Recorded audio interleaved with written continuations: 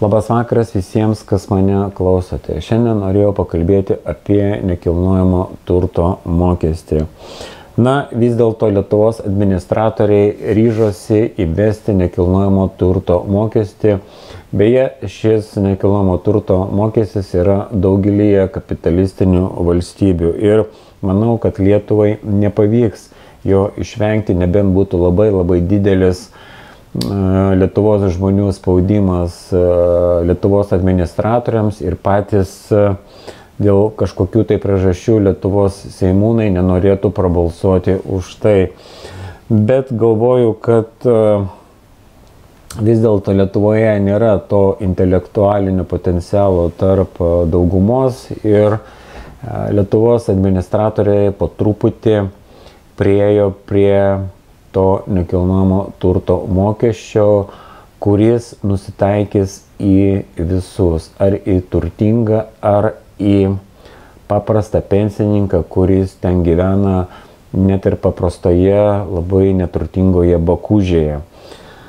Na, norėčiau trumpai papasakoti, kaip yra Junktinėse Amerikos valstijose ir ką padaro kapitalizmas su to nekilnojamo turto mokesčiu.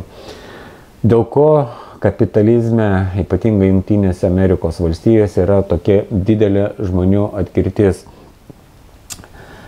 Ten yra turtingi rajonai ir bėdžių rajonai, yra labai turtingų žmonių rajonai ir yra geto, kuriame gyvena daugiausia afroamerikiečiai, latinos ir e, emigrantai. Bet e, esmė yra netame, esmė yra nekilnojamo turto mokestyje. Ten, kur gyvena turtingi, ten yra didelis nekilnojamo turto mokestis, kuris eina viešų mokyklų finansavimui. Jas Amerikoje vadina public schools, reiškia tos mokyklos, į kurią eina visi vaikai. Ten, kur gyvena afroamerikiečiai, ten nekilnojamas turtas yra pigus, santykinai pigus, dėl to ir nekilnojamo turto mokestis yra labai nedidelis. Ir visi tie pinigai, nedideli pinigai už nekilnojamo turto mokestį, kurie surinkami tose geto rajonuose, eina taip pat tų mokyklų finansavimui. finansavimui. Gaunasi toks kaip užburtas ratas, iš kurio neįmanoma prasiveršti. Jeigu tu gyveni va tokiame rajone, esi afroamerikietis, reiškia tavo ir mokyklos bus tikrai prastos, nes a, tiek jau yra skiriama pinigų, kurie yra surink, surinkami iš nekilnojamo turto mokesčių. Taip yra Amerikoje ir dėl to tie afroamerikiečiai negali nuomotis ar pirkti nekilnojamo turtą turtingose rajonuose, todėl kad tai yra ne palei jų kišenę. Net jeigu jie norėtų nuomotis vien dėl tos priežasties, kad jų vaikai eitų į geresnės mokyklas, tai būtų neįmanoma. Va, taip yra daroma atskirtis kapitaliz kapitalizmo sistemoje ir matau po truputį visa ta sistema pareina ir pas mus. Na, taip pat visi žinome, kad Lietuvos administratoriai žada dabar įvesti tą nekilnojamo turtą, nesvarbu, koks tas tavo būtas ar namas, didelis, mažas, prabangus, ar bakužė visiems kals kaip reikalas. Aš pasižiūrėjau tą lentelę, ten žiūrėjau Kaune, kuriame gyvenu ir taip pat pakliūnu į tą kategoriją, apmokestinimo kategoriją, ten liktai Kaune, liktai 50 tūkstančių eurų nekilnojamo, ten kiekvienas net ir tarybinės, tarybinių laikų statytas būtas kainuoja daugiau negu 50 tūkstančių dabar prie tokių kainų. Tai reiškia, kad visi, visi iki vieno faktiškai tokiuose didmešiuose ir kaimuose mokės tą nekilnojamo turtą. Aš dabar nenoriu leistis į tas diskusijas dėl tų skaičių. Visi tos skaičius galite pasižiūrėti patys, bet kalbėsiu apie esmę. Ką aš manau apie nekilnojamo turto mokestį? Aš galvoju, kad tai yra 21 amžiaus e, reketas. Reketas, bet tas reketas net toks kaip kriminaliniai elementai ateina E, kaip anksčiau būdavo 90-aisiais ateina pas e, kokį tūlą verslininką ir jam įkala, įkala kažkokį tai procentą nuo pelno. Maždaug pasižiūrė, kiek jis ten suprekiauja ir tiesiog įkaldavo jam tokią, tokį mokestį, kitaip kalbant, reketą. Dabar Lietuvos administratoriai nežiūri, kiek žmonės turi maždaug pinigų, ar jie gali tai mokėti, įkala tą reketą visiems, ar tai būtų babutė, kuri gyvena vieno kambario būte iš pensijos ir turės mokėti tą, ne, nežinau, iš kur jį gali paimti tos pinigus. Matyt, yra planas perimti visą turtą ir kitaip jį disponuoti. Ir tai yra susiję su kiekvienos kapitalistinės valstybės prasiskolinimu. Visos kapitalistinės valstybės yra gyvena į skolą, skolinasi iš kažkokių tai mistinių finansinių institutų. Tai yra iš tų finansinių institutų, kurios yra privačios, tai yra privati Amerikos federalinė rezervų sistema ir, ir iš, iš, iš jos išplaukiantis bankai. Ir tam, kad vyriausybės atiduotų tas skolas, teisingiau jau net ne skolas, o procentus, procentus už skolas, Amerikiečiai turi tokį neterminą compound interest, tai yra palūkanas už palūkanas. E, jie vyriausybės ir visų, visų tų šalių, koloninių šalių administratoriai neturi jokio kito šanso atiduoti tuos procentus, kaip tik didinti mokesčius. Faktiškai mokesčiai yra jau padidinti iki begalybės, tai ir pridėtinės vertės mokestis, ir aibė kitų mokesčių, tai jie va nusitaikė dar į nekilnojamo turto mokestį. Jie kitaip negali funkcionuoti, nes tai funkcionuoja finansinė sistema.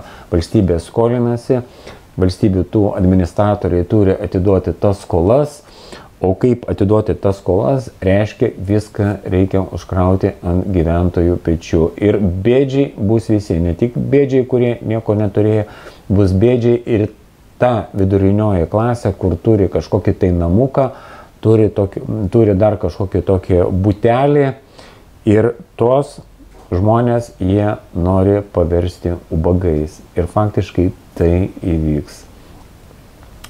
Na, kiek tame logikos yra, tame reikėte, čia net neverta apie tai kalbėti. Aš pakalbėsiu savo asmeniniu pavyzdžiu Aš prisimenu savo amžinatelsi tėvą, kuris e, sunkiai dirbo, buvo suvirintojas, e, gyveno tarybiniais laikais ir jis, e, kaip žinote, kas domisi čia tiems tai jaunimo kartai, kuri nieko maždaug nežino apie gyvenimą TSRS, Taigi mano amžinatelsis tėvukas gavo būtą iš valdžios. Jis dirbo suvirintojo darbo, stovėjo ten eilėje ir aš jau nepamenu, po kiek jis metų ten stovėjo eilėje, bet gavo būtą, gavo būtą, kuriame ir aš augau. Tai buvo Klaipėdoje, aš pamenu, ėjau ten, kada mes gavome būtą, mūsų šeima gavo būtą, aš atrodo ėjau į pirmą klasę Klaipėdoje, tai buvo 19 vidurinė mokykla. Vėliau mes persikėlėme į, e, persikėlėme į pietinę Klaipėdos pusę ir aš ėjau į 24 vidurinę mokyklą, kuri dabar vadinasi Smeltės mokykla. Taigi mano tėvas gavo iš darbovietės e, būtą, kuriame gyvena, va, atėjo Landsbergizmo laikai ir jie sugalvojo tokią aferą. Sugalvojo tokią aferą, kad va visas tas turtas, visuomeninis turtas, mes padarysime taip, kad kažkaip, kažkaip jį išdalinsime. Buvo sugalvota investicinių čekių afera, buvo išdalinti valstybės investiciniai, investiciniai čekiai visiems žmonėms, kurie galėjo kažką tai pirkti, apsukrėjai, kurie žinojo visas tas schemas, supirkinėjo tos investicinius čekius, kurių pagalba jie pirko fabrikus, pirko visokias įmonės ir kitą stambų nekilnojamo turtą, kitaip sakant, tapo verslininkais. Taip pat e, gyventojams buvo pasakyta Lietuvo žmonėms, kad jie gali taip pat privatizuoti ir savo būtus, kurie kuriuos jie ir taip buvo gavę iš tarybinės valdžios. Pavyzdžiui, mano tėvas turėjo privatizuoti tą būtą, kurį jis gavo iš tarybinės valdžios. Ir jis tuos investicinius čekius vietoj to, kad kooperuoti su kitais žmonėmis ir pirkti, ir pirkti kažkokias tai akcijas ar a, rimtesnius dalykus, jie paprasčiausiai tokie žmonės kaip mano tėvas de, paėmė ir privatizavo tais investiciniais čekiais savo būtą, kurį ir taip turėjo iš taibinės valdžios. Buvo sugalvota tokia schema, kaip žmonės tiesiog padaryti ne tai, kad vergais, bet padaryti visiškai priklausomais nuo sistemais. Taigi būtas, kuriame aš gyvenau, buvo privatizuotas tais investiciniais šekiais ir jau tada galima sakyti, kad buvo mano amžinatilsis tėvukas apvoktas. Ir kai aš kalbu apie savo tėvuką, tai turiu minti, tokių istorijų buvo labai labai daug. Na, ba, e, liko tas būtukas e, ir jį dabar vėl nori apmokestinti Landsberginiai, kurie visiškai nieko neturi nei su to būtų bendro, nei su, to, nei su tais laikais, kada jis buvo pastatytas ir kada jis buvo duotas. Tiesiog jie kiša savo purviną ranką į paprastų žmonių kišenę ir blogiausia tai, kad e, mes faktiškai negalime tam pasipriešinti. Na, nėra, mechani, nėra kol kas mechanizmo. Na, žinau, kad yra organizuojamas mitingas e, prieš tą nekilnojamo turto mokestį, į kurį kviečiu visus atvykti. Tai tiesiog e, mūsų būtų, mūsų požiūrio į tą situaciją išraišką. Nesvarbu, ar tas įstatymas bus priimtas, ar e, jis vėliau bus atšauktas, aš galvoju, kad vis dėlto jis bus priimtas, bet būtina bent tai parodyti savo nuomonę apie tai, kas yra su mumis daroma. Jeigu ten susirinks labai mažai žmonių, tai valdantieji ar Lietuvos administratoriai, kaip aš juos vadinu, sakys, na, žiūrėkit, dauguma gal žmonių ir pritarė tam. Jeigu valstybė iš tikro būtų normaliai, kas yra iš principo, valstybės negali būti normalios, bent aš tokių nežinau, aplamai valstybė yra prievartos aparatas, bet kiekviename sociume yra įstatymai ir mes privalome laikytis įstatymų, kaip tai kaip mums tai nepatiktų, nes taip yra sutverta mūsų civilizacija. Aišku, tai yra visiškai netobula, bet mes privalome laikytis įstatymų. Jeigu ta valstybė bent minimaliai rūpintųsi tuo žmogumi, ji galėtų įvesti tą nekilnojamo turto mokestį, bet pavyzdžiui, nuo pusės milijono nekilnojamo turto vertės, na, yra gipilių, yra prabangių namų, žmonės, kurie maudosi piniguose, yra tokių žmonių, va ir įveskite į, į tą mokestį jiems. Bet prie ko tas mokestis tai bobutėjai ar tai dirbančiai šeimai, kurie augina vaikus ir galvoja, kaip čia sudurti galą su galu ir išleisti vaikus į mokslus ir dar jiems užkrauna tą nekilnojamo turto mokestį. Daugelis žmonių praras tos savo būtus, nes jie neišsilaikys. Tiesiog matematiškai, matematiškai neįmanoma mokėti to mokesčio. Kada suskaičiuoji savo išlaidas, kada suskaičiuoji savo pajamas, matai, kad tu vos, vos laikaisi. Ir tai yra žmonių, kurie tikrai jau gyvena į minusą. Tam yra tos kreditinės kortelės, gyvenimas į skolą. Ir taip funkcionuoja kapitalizmo sistema, ne tik tas yra Lietuvoje, taip, taip yra daugmaž visame kapitalistinė, kapitalistinėme pasaulyje. Taigi, nekilnojamo turto mokestis yra 21 amžiaus reketas. Na ir nežinau, ką čia dar galima prie to pridėti. Va, eina žmogus į darbą, jis moka mokesčius. E, pajamų mokestis yra atskaitomas iš, iš algos, reiškia, jis jau kaip ir atsiskaitė su valstybė. Nes visi pritarėme tai minčiai, kad kai valstybė sako, kiekvienas privalo mokėti mokesčius, nes yra tokios rytis kaip išsilavinimas, mokslas, švietimas, medicina, iš kurių, iš biudžet, iš, iš kurių yra tos lėšos įmamos iš biudžeto ir taip finansuojamos tos rytis. Bet Va, žmogus eina į darbą, iš jo atskaitomi mokesčiai ir jis pagaliau, pagaliau susitaupė ir nusipirko tą lūšną, bet valstybė ateina dar kartą ir dar kartą uždeda savo lėteną ant uh, to žmogaus turtelio. Kitaip kalbant, tai yra reketas ir mes galime jį vadinti kaip tik norit, bet tai yra 21 amžiaus reketas. Tai yra reketas. Aplamai, kai įsigilini į tą situaciją, pagalvoji, Lietuvoje juk viskas beveik privatu, pri, privatu ir žemė, ir ežerai, ežerų pakrantės, ir ir stambus fabrikai ar įmonės, kurios buvo pastatytos Tarybų sąjungos laikais. Ir prasidėjus karos pagalvojai, ką tu turi ginti, kažkieno privačią žemę, Karbauskio žemės, kurias neva užgrobtų mūsų priešai. Kodėl aš jas turėčiau ginti, kodėl aš turėčiau ginti kažkieno privačią teritoriją ar kažkieno privačius interesus. Laikai pasikeitė, dabar ta tėvynė savoka, jinai yra visiškai kitokia. Tėvynė yra tai jausmas, mes visi prisimename, kur augome, kaip augome, kokie žmonės mūsų supo ir mes turime tiems laikams sentimentus. Aš pavyzdžiui, mano vaikystė praėjo Klaipėdoje, aš gerai prisimenu, kaip tarybiniais laikais mes žaidėme krepšinį tose mikrorajonuose Ir e, kada aš grįžau iš Junktinių valstijų, mane kažkiek traukė Amerikoje visą tai pamatyti ir patirti tos e, jausmus. Prisimenu savo vaikystės draugus, e, kada mes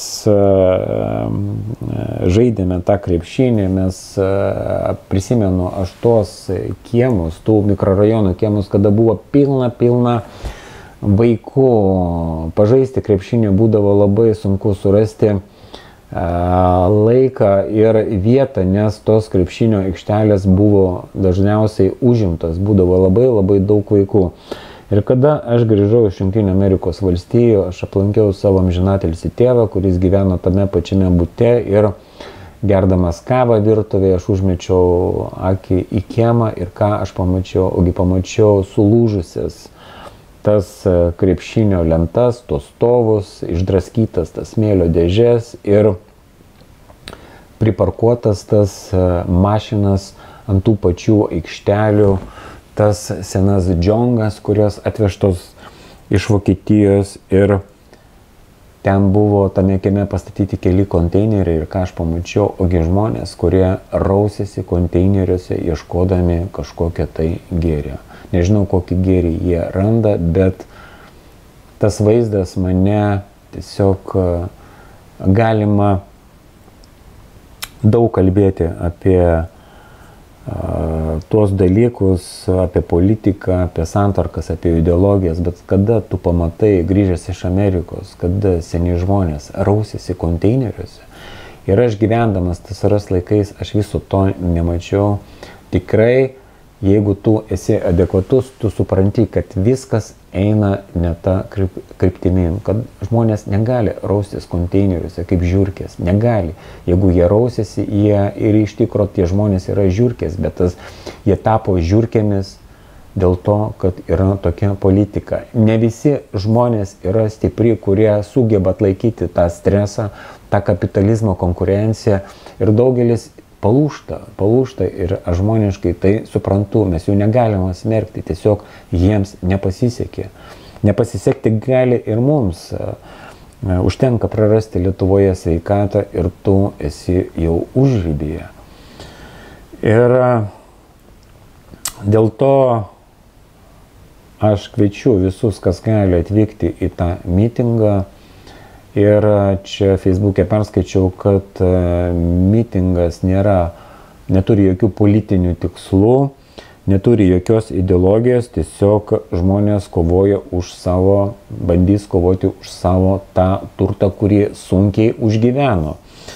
Bet mano nuomonė, viskas yra politika. Nainate jūs į tualetą, atsiplėšite tualetinį popierių, tai yra politika, nes kaina yra, kiekvienas produktas turi kainą, o kaina ir yra politika. Jeigu jums užkrauna mokesčius ant nekilnojamo turto, tai yra politika. Viskas yra politika. Nesvarbu, ką mitingo organizatoriai mano apie tai, bet e, būtina ateiti į mitingą ir pakovoti už savo, savo tą turtelį, kurį jūs įsigijate labai labai sunkiai dirda, dirbdami. Tai tiek tada šiam kartui apie tą nekilnojamo turto mokestį, kuris yra niekas kitas kaip 21 amžiaus reketas. Reketas ir mūsų Lietuvos administratoriai yra nekas kitkas, o reketininkai. Reketininkai tai yra banditai. Tai būkite sveiki ir iki kitų cartão.